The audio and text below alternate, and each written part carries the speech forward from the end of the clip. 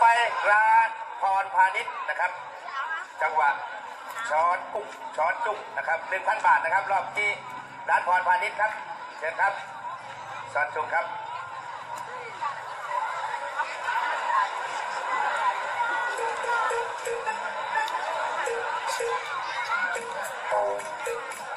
ร้าน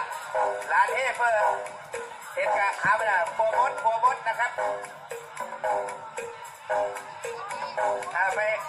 นี่คือยู่ที่รถด้วยนะครับโปรโมอสน้องโปรโมอสครับ